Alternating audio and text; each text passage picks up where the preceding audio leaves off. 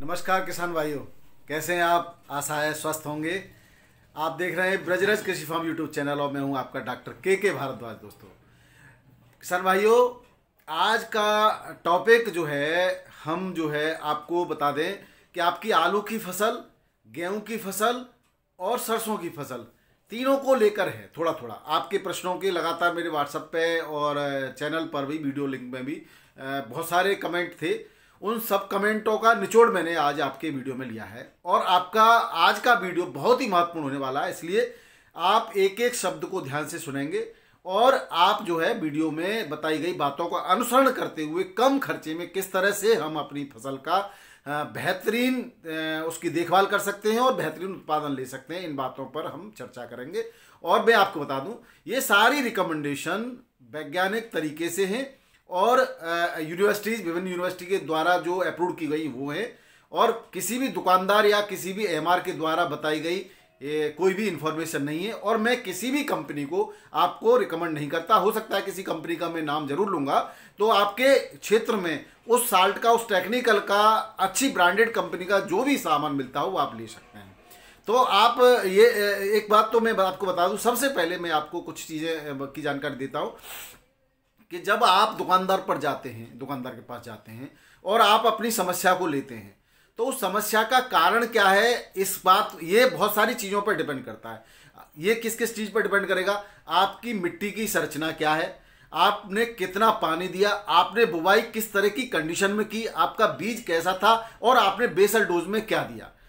क्योंकि बहुत महत्वपूर्ण बात जो है मिट्टी की जाँच कराना, वो तो हम लोग 90 परसेंट किसान नहीं कराते।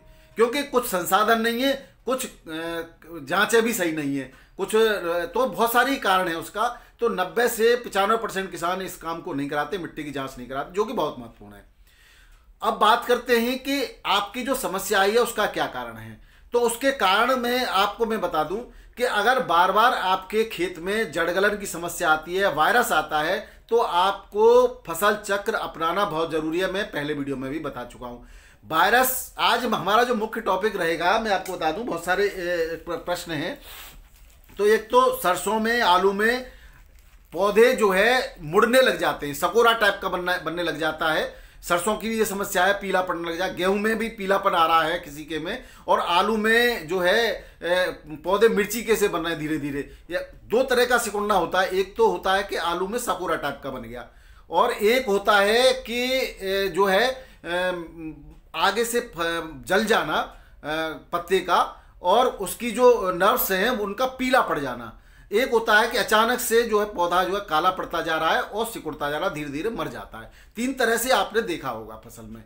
एक तो इसमें, एक तो देखो बीज जनित वायरस है, एक भूमि जनित वायरस है, एक कीट के द्वारा फैलाया गया वायरस है। तो ये तो ये सारे सिकुड़ने वाले रोग हैं, और दूसरा डेफिशिएंसी वायरस भी है। लीफ कल वायरस है, वो डेफिशिएंसी की वजह से भी आता है। अब दोस्तों डेफिशिएंसी अब एक हमारे जो है व्यूवर हैं रघुवीर सिंह यादव जी। रघुवीर सिंह यादव जी ने अपने चिपसोना आलू किया है इन्होंने, और इन्होंने, आप देख, जान लीजिए क्या क्या लगाया है। बेसल डोज में पाँच बोरी डीएपी प्रति एकड़ का इन्होंने बताया मुझे। 125 केजी पोटास, ह्यूमिक पावर एक के जी दस के जी माइक्रो फ़ूड, कोई होता होगा, किसी नाम से माइक्रो ऑर्गेनिजम्स होंगे इसके अंदर या माइक्रो न्यूट्रेंट्स होंगे।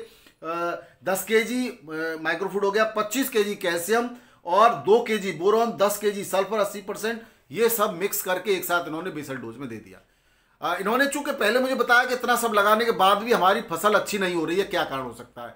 दोस्तों, मेरा वीडियो शुरू से आप देखिए, मैं बार बार कहता हूँ कि बहुत सारे फैक्टर्स हैं केमिकल्स बहुत सारे ऐसे हैं, कुछ केमिकल्स तुरंत रिएक्शन कर लेते हैं, कुछ क्रिया करने में समय लगाते हैं। तो मैं आपको बता दूँ कि डीएपी में डाई अमोनियम फास्फेट होता है, फास्फोट सल्फेट के साथ रिएक्शन कर लेता है और जो पोटास देते हैं, उसमें पोटेशियम होता है। Potassium is very reactive element और पोटेशियम भी तुरंत रिएक्शन कर लेता है। तो जहाँ पे आपका फास्फेट की फॉर्म में था डायमोनियम फास्फेट तो वो पोटेशियम के साथ रिएक्शन करके अगुलनशील पोटेशियम में बदल जाता है। तो वो जो है, आपके पौधे को मिल ही नहीं पाता। इधर तो फॉस्फेट भी नहीं मिल पाया आपके पौधे को और पोटेशियम भी नहीं मिल पाया, क्योंकि आपने बहुत ज़्यादा मात्रा लगाई है। इतनी मात्रा की आवश्यकता भी नहीं है। उसके बाद भी आपकी फ़सल को नुकसान हो गया। और यहाँ पर यही होता है कि आप पूरी पूरी डोज देते हैं, पूरा पैसा खर्च करते हैं और फिर भी जो है आपका जो है फ़सल में आप संतोषजनक परिणाम नहीं प्राप्त होते या नुकसान हो जाता है उल्टा। बिल्कुल होगा दोस्तों, केमिकल फर्टिलाइज़र एक ऐसी चीज़ है जिसको एक रिक्वायर मात्रा से ज़्यादा दिया जाएगा तो नुकसान आपको होगा। तो यही इनके साथ हुआ है। अब इनका उपाय तो यह है, मैंने इनको वैसे बता दिया है, इनको जो घुलनशील फॉस्फेट है उसको घुलनशील बनाने के लिए तो एक, ये कर सकते हैं पीएसबी बैक्टीरिया ले ले अभी ले आया 500 ग्राम का इफ्को का भी आता है, और भी किसी कंपनी का आता होगा बढ़िया कंपनी का। और उसको आप दो किलो गुड़ 200 लीटर के ड्राम में घोल करके, और उसमें वो डाल दें, और आप तीन चार दिन उसको रखा रहने के बाद पानी के साथ चला दें आप। तो आपका घुलनशील फॉस्फेट है, वो पौधे को मिलने लग जाएगा। उसके 10-15 दिन बाद पोटेशियम मोबिलाइजिंग बैक्टीरिया का आता है, इसी तरह का इफको का, उसका भी घोल उसी तरह से आप प्रयोग कर सकते हैं। तो आप, क्योंकि अब आप रासायनिक ज़्यादा लगाएँगे तो उल्टे नुकसान की संभावना है दोस्तों। तो मेरा कहना यही है कि आप अब जो है थोड़ा सा जैविक की तरफ़ बढ़िए और इस, आपको अपनी फ़सल को बेहतरीन उत्पादन प्राप्त कीजिए। तो ये आप उपाय कर सकते हैं। तो इनके लिए तो ये है। दूसरा जो मैं मेन टॉपिक था मेरा वो था ये कि आपका लीफ कर्ल जो हो रहा है, टर्न हो रहा है, सकोरा टाइप की जो लीफ बन रही है, उस लीफ में दो तरह से बनती है। एक तो उसमें जो है आपका भूमि जनित वायरस की वजह से बन सकती है, दूसरा पोटेशियम की डेफिशिएंसी की वजह से। यानी कि आपने जो पोटास लगाया है, वो या तो सही पोटास नहीं है, या उसकी मात्रा कम लगाई है, उस दो ही कारणों से। या वो आपने लगाई तो किसी तत्व के साथ रिएक्शन करके वो इंसॉल्यूबल फॉर्म में पड़ी हुई है, वो आपके पौधे को नहीं मिल पा रही है। यही तीन कारण हो सकते हैं। उसके लिए आपको पोटेशियम अकेला पोटेशियम या ज़ीरो ज़ीरो पचास का आपको स्प्रे करना पड़ेगा, या पोटेशियम का जो पोटास का घोल होता है, उसका स्प्रे करना पड़ेगा। उसकी मात्रा में कई बार बता चुका हूँ। आप जो है, अगर ज़ीरो ज़ीरो पचास लेते हैं तो आप एक बार में एक से डेढ़ के जी जो है पाउडर फॉर्म में आता है, इसको घोल देंगे सॉल्यूबल होता है, वाटर सॉल्यूबल, और इसको खाली स्प्रे कर देंगे। किसी के साथ मिलाना नहीं है। बहुत सारे कहते हैं कि मेरी कल एक एमआर से बहस हो रही थी, वो कह रहे थे कि साहब बहुत टेक्नोलॉजी डेवलप कर गई है और इस तरह के सॉल्ट बनाए जाते हैं कि अब रिएक्शन नहीं करते। हाँ मैं जानता हूँ कुछ इस तरह के, आपको मैं बता दूँ कुछ तत्व ऐसे होते हैं जो रिएक्शन को बढ़ा देते हैं जिनको उत्प्रेरक कहते हैं और कुछ ऐसे होते हैं जो रिएक्शन को कम कर देते हैं, जिसको संदमक कहते हैं। हिंदी की भाषा में बता रहा हूँ मैं। अब अब ऐसे तत्वों को मिलाने का मतलब ये नहीं है कि आपने मिला के रख दिया और जो है वो रिएक्शन ही नहीं करेगा। कुछ समय बाद वो रिएक्शन ज़रूर करता है। तो उसमें समय का थोड़ा सा अंतर हो सकता है। तो जो जिस तरह से वो रिकमेंड करते हैं तो कंपनियाँ, जो ब्रांडेड कंपनियाँ होती हैं, वो काफ़ी रिसर्च करने के बाद प्रोडक्ट लॉन्च करती हैं तो वो सही हो सकता है। तो आप उसको ऐसा नहीं है कि उसको घोल के रख दिया तो रख दिया। और बहुत सारे तरीके होते हैं, किसी के साथ करता और आपने जो मिलाया है, उसमें भी ये नहीं देखा आपने कि हम क्या क्या मिला रहे हैं। कंपनी ने थोड़ी रिकमेंड किया था कि ये सब चीज़ें मिला के दे दी, नहीं तो वो खुद मिला के दे देती। हम क्या करते हैं कि इंसेक्टिसाइड भी मिला देते हैं, फंगिसाइड भी मिला देते हैं, प्लांट ग्रोथ रेगुलेटर मिला देते हैं, प्लांट प्रमोटर्स भी मिला देते हैं, कुछ इन्विटर्स भी मिला देते हैं, कुछ नहीं पता हम क्या कर रहे हैं, कुछ और अब माइक्रोन्यूट्रेंट्स भी मिला रहे हैं। तो ये सारे आपस में रिएक्शन कर जाते हैं, आपको जो फ़ायदा मिलना चाहिए था, वो नहीं मिलता, आपका पैसा वेस्टेज चला जाता है दोस्तों। तो इससे आप बचिए, जो कंपनी रिकमेंड करती है, उसके ऊपर एक आपके पास एक कागज़ भी आता है। कुछ हमारे किसान ज़्यादातर इतने पढ़े लिखे नहीं होते, उसको पढ़ लें तो आप किसी पढ़े लिखे व्यक्ति से उसको पढ़वा सकते हैं। वो कभी नहीं कहेगा कि आप इसको बहुत सारी चीज़ों को मिला कर दीजिए। आपको क्या क्या मिलाना है, मैं कई बार वीडियो में बता चुका हूँ क्या नहीं मिलाना है। आपको मैंने पहले ही बता दिया फॉस्फेट के साथ सल्फेट को नहीं मिलाना है। बहुत से लोग आपको रिकमेंड कर रहे होंगे कि ये भी मिला के दे दो, वो भी मिला के दे दो, ये मिला, नहीं मिलाना है दोस्तों। फॉस्फेट के साथ सल्फेट को नहीं मिलाना है। कैल्शियम कई फॉर्म में आता कुछ कह रहे हैं, कैल्शियम के साथ भी नहीं मिलाना है। कैल्शियम अकेले के साथ मिला सकते, कैल्शियम नाइट्रेट के साथ फॉस्फेट को नहीं मिला सकते हैं दोस्तों। मैं कई बार बता चुका हूँ और बार बार एक ही प्रश्न को आप पूछते रहते हैं। अब मैं आपको बता दूँ उसका, अब एक दूसरा जो तीसरा जो कारण है, मैंने आपको बताया रीफ कल का एक तो डेफिशिएंसी बता दिया मैंने कहा बीज जनित रोग बता दिया। एक कारण है कि कोई भी कहीं पर भी कोई रोगी पौधा है या वायरस ग्रसित पौधा है, उसमें रस चूसक कीड़े लग गए, उसमें उसने अपने प्रोवोसिस के थ्रू रस को चूस लिया और स्वस्थ पौधे पर बैठकर वहाँ पर रस को डाल दिया तो वो भी पौधा उसी तरह से सिकुड़ने लगेगा, उसमें भी प्रकोप आ जाएगा। अगर इस तरह के आपके जो पुराने बीज वाले, मैंने एक वीडियो भी कल दिया था कि अगर कोई बीज में वो दिख जाएगा, मिर्ची जैसा पौधा होगा, और उसमें हो सकता है वो पौधा भी स्वस्थ हो और पत्तियाँ, पतली पतली हो, और आलू जो उस पर ट्यूबर्स आएँगे, वो ऐसे आएँगे जैसे कठोर किसी पर जड़ में ही सीधे सीधे बन गए, और वो ज़्यादातर उनकी साइज़ नहीं बढ़ती। ऐसे पौधे को तुरंत उखाड़ के फेंक देना चाहिए, और ऐसी फ़सल में रस चूसक कीड़ों को मारने के लिए आप इमिडा क्लोरोपिड हंड्रेड एम ले सकते हैं, आप थायोमिथक्सियम ले सकते हैं, हंड्रेड ग्राम भी पाउडर की फॉर्म में आता है और इसके साथ आप कोई भी फंगिसाइड और इंसेक्टिसाइड साफ़ का आता है और आपका स्प्रिट का आता है मैंकोजेब जिसमें होता है जो है, और मैंकोजेब और सिस्टमिक फंगिसाइड और आपका कोई भी कार्बन आप जो ले सकते हैं कॉन्ट्रैक्ट फंगिसाइड इन सबको मिलाकर भी स्प्रे किया जा सकता है दोस्तों। तो अब आप जो जैसी ज़रूरत है, उस तत्व का स्प्रे करें और जो ज़रूरत नहीं है, उसको आप स्प्रे न करेंगे तो भी कोई दिक्कत नहीं है। ज़्यादातर जो दुकानदार हैं, वो कहते हैं कि आप प्रिकॉशन के तौर पर, यानी कि आप बचाव के लिए कि रोग नहीं आए, इन सब चीज़ों का स्प्रे कर दो। वहाँ तक तो ठीक है। जब लेकिन रोग आ चुका होता है, तब आपको उसी चीज़ का स्प्रे करना है, जिस चीज़ की वजह से रोग आया है या जिसकी कमी से रोग आया है। अगर डेफिशिएंसी वायरस की वजह से डेफिशिएंसी की वजह से वायरस अटैक कर रहा है तो आप उस तत्व का स्प्रे करेंगे। अदर दूसरी चीज़ें उसमें नहीं मिलाएँगे, क्योंकि उन दोनों असर हो जाएगा तो फिर कोई काम नहीं करेगा। अब बात करते हैं कि गेहूँ की समस्या है। गेहूँ में क्या होता है कि 40 दिन का गेहूँ हो गया, या तो पानी ज़्यादा लग गया या पानी कम लग गया और वो पीलापन आ रहा है उसके अंदर। तो वहाँ पर आप सल्फ़र तीन से चार किलो यूरिया के साथ मिला करके आप उसमें पानी के साथ भी चला सकते हैं और स्प्रे भी कर सकते हैं। स्प्रे करने के लिए एक किलो यूरिया लेना है। घोल में पहले भी कई बार बता चुका हूँ, प्रति एकड़ के लिए और आप उसी तरीके से आप उसको यूज़ करेंगे। अब एक मैंने माइक्रोन्यूट्रेंट्स का आपको पिछले कई वीडियो में बताया है। जिंक सल्फेट तैतीस परसेंट जिंक सल्फेट आता है 500 से 700 ग्राम, जिंक सल्फेट की फॉर्म में तो 500 से 700 ग्राम लेना है। अगर जिंक चिलेटेड लेते हैं आप तो 100 ग्राम से सवा सौ ग्राम लेना है। क्लियर कर दूँ मैं आपको, चिलेटेड और सल्फेट को नहीं मिलाना। सल्फेट की फॉर्म में सस्ता आता है और चिलेटेड महँगा आता है आपको, उसी एवरेज में लेना है। इसके बाद जो फेरस सल्फेट आता है उन्नीस में, वो ले लेना है आपको 500 ग्राम से सात पाँच ग्राम ही लेना है वो 500 700 हो जाए, कोई दिक्कत नहीं है। अब आप manganese magnesium sulphate M G magnesium sulphate एक किलो लेना है, और एक आता है manganese sulphate M N S O four वो आपको लेना है सौ से दो सौ ग्राम ले लीजिए, बहुत है, वो पर्याप्त है, क्योंकि वो बहुत कम मात्रा में आवश्यक होती है।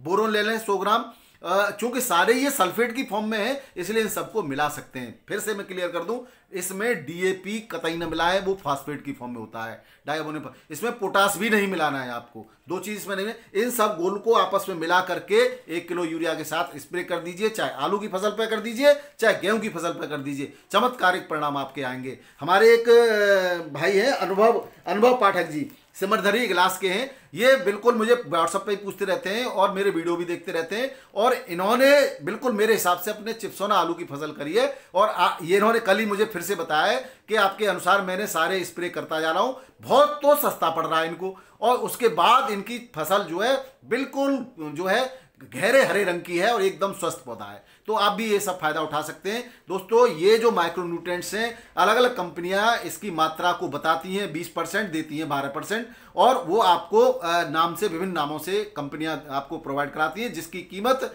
कई हज़ार में हो सकती है, लेकिन यहाँ आपको सौ में ही, हज़ार के अंडर में ही ये सारा स्प्रे हो जाएगा। तो ये आपका अंतर है। आप अगर दुकानदार से ये सब चीज़ अलग अलग मांगेंगे तो आपके चेहरे की तरफ़ देखेगा। और अगर आप कहेंगे, वो कहेगा, ये ले जाइए, सब माइक्रोन्यूट्रेंट्स का मिश्रण है। आप अलग अलग लाएँ, बेहतर परिणाम मिलेंगे। अगर नहीं मिलता है तो आप कोई भी माइक्रोन्यूट्रेंट्स ले सकते हैं, तब आपकी मजबूरी हो सकती है। इसके अलावा जो अगला पॉइंट हमारे पास है, वो ये है, आप कह रहे हैं कि PGR plant growth regulating hormones और प्लांट प्रमोटिंग प्लांट प्रमोटिंग जो एलिमेंट्स जो होते हैं।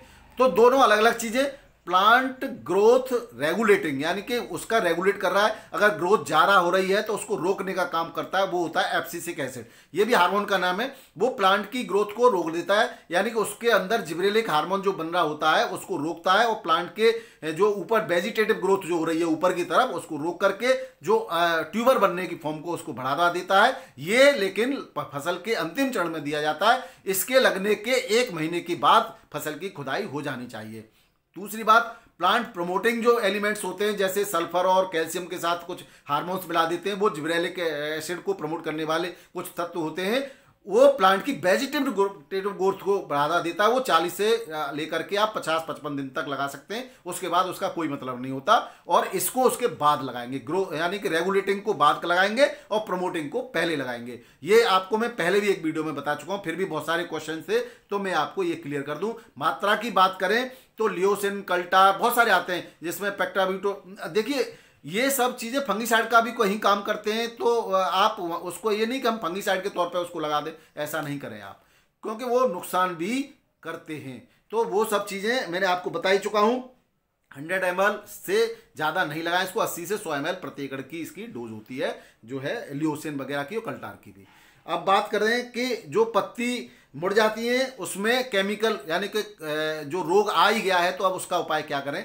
तो उसके लिए मैंने बता दिया कि अच्छा सा सिस्टमिक फंगिसाइड अच्छा सा कॉन्टैक्ट फंगिसाइड एंटीबायोटिक मिला करके और कीटनाशक अच्छा सा कोई भी कीटनाशक, नाम तो मैंने आपको पहले ही बता दिए, उसमें आप ले सकते हो थायोफिन मिथेक्सियम ले सकते हो और इमिडा क्लोरोपिड ले सकते हो सौ एम या से डेढ़ सौ एम प्रति एकड़ की मात्रा इसकी होती है। नीम ऑयल ले सकते हो दस हज़ार पीपीएम का, डेढ़ सौ एमएल की मात्रा में, पंद्रह सौ पीपीएम का, पाँच सौ एमएल की मात्रा में इसको आप ले सकते हो इसके साथ। स्प्रे कर दीजिए। तो काफ़ी हद तक कंट्रोल हो सकता है। पूरी तरह से उपचार तो नहीं होगा, लेकिन कंट्रोल इसमें हो सकता है दोस्तों। अब एक और रोग आ रहा है आपके बार बार जड़ गलन की जो समस्या अभी तक आ रही थी। तो जड़ गलन में भी मैंने आपको बताई दिया, इसमें भी आपको सिस्टमिक फंगिसाइड कॉन्टैक्ट फंगिसाइड और एक एंटीबायोटिक जड़ तक पहुंचाना होगा दोस्तों। पत्ती पर स्प्रे करने से काम नहीं चलना है इसमें। इसको जड़ तक पहुंचाना पड़ेगा। इसके लिए आप सस्ता में मैंको जेब कार्बन डाइजाम ले सकते हैं और इसको पानी में घोल करके 700 800 ग्राम लेकर के और पानी के साथ घोल करके सिंचाई में चला दीजिए। इसके अलावा आप लें तो जो है आठ सौ ग्राम कॉपर ऑक्सीक्लोराइड भी पानी में घोल करके चला सकते हैं। तो आपकी जड़ गलन की समस्या काफ़ी हद तक जो है, कम हो जाएगी। इसके अलावा एक जैविक ट्रीटमेंट है। एक केजी आप जो ले लें, वो ले लें ट्राइकोडर्मा ब्रिडी ट्राइकोडर्मा बिडी एक के पानी के साथ घोल करके प्रति एकड़ में आप चला दीजिए तो इससे भी काफ़ी हद तक आपको लाभ मिलने की संभावना है। बिल्कुल समाप्त होने की गारंटी इसमें नहीं होती है, लेकिन हाँ ज़रूर, लाभ ज़रूर। जड़ गलन तो लगभग लगभग सही होगा। ये एक और चीज़ में फ़ायदा करेगा दोस्तों, जो आपके आलू के पटेटो पे जो दाग आ रहे हैं, यानी कि जिसको कह रहे हैं, कोई कह रहा है खुजली हो गई है, कोई कुछ कह रहा है, कोई कह रहा है वायरस हो गया है, कोई कह रहा है इस पर जो है बहुत सारे कारण हो सकते हैं, लेकिन उस पर अगर दाग आ रहे हैं अगर आलू फट रहा है तो आप बोरोन का प्रयोग करेंगे। दाग आ रहे हैं तो ये सब चीज़ें आपका कॉपर ऑक्सीक्लोराइड वगैरह ये उसमें भी आपको लाभ पहुंचाएगा काफ़ी हद तक उसमें भी सुरक्षा करेगा। तो ये थे आपके आज के सवालों के जवाब और आपका इलाज। अब जो नया जो बात आ रही है वो आएगी आपकी अब ब्लड डिसीज भी आ रही है ब्लड रस्ट ब्लड डिसीज तो एक तो अगैती झुलसा आता है एक पिछैती झुलसा आता है। तो अगैती झुलसा का आ, समय अब लगभग समाप्त हो रहा है और पिछैती झुलसा स्टार्ट हो जाएगा। दवाइयाँ लगभग एक ही हैं। वही आपका स्प्रे करना है इसमें contact fungicide systemic fungicide antibiotic और ये सब स्प्रे अगर रोग आ चुका है तो फिर अगर देखें उस पर कीड़ा है तो कीटनाशक लगाएँ। अदरवाइज़ कीटनाशक के बिना ही, बिना माइक्रोन्यूट्रेंट्स के अगर रोग है तो कोई भी माइक्रोन्यूट्रेंट्स यूज़ नहीं करना है, कोई कीटनाशक यूज़ नहीं करना है। केवल सिस्टमिक फंगीसाइड कॉन्टैक्ट फंगीसाइड और एंटीबायोटिक यूज़ करके उस पर स्प्रे कर दीजिए। बताई गई मात्रा के अनुसार आपको लाभ होगा दोस्तों, और निश्चित रूप से लाभ होगा।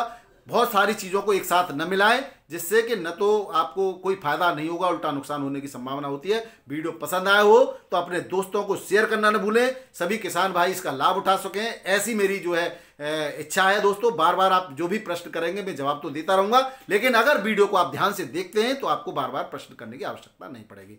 वीडियो देखने के लिए बहुत बहुत धन्यवाद। नमस्कार, आदाब, सत राधे राधे नए लोग हैं, सब्सक्राइब ज़रूर कर लें। बहुत बहुत धन्यवाद।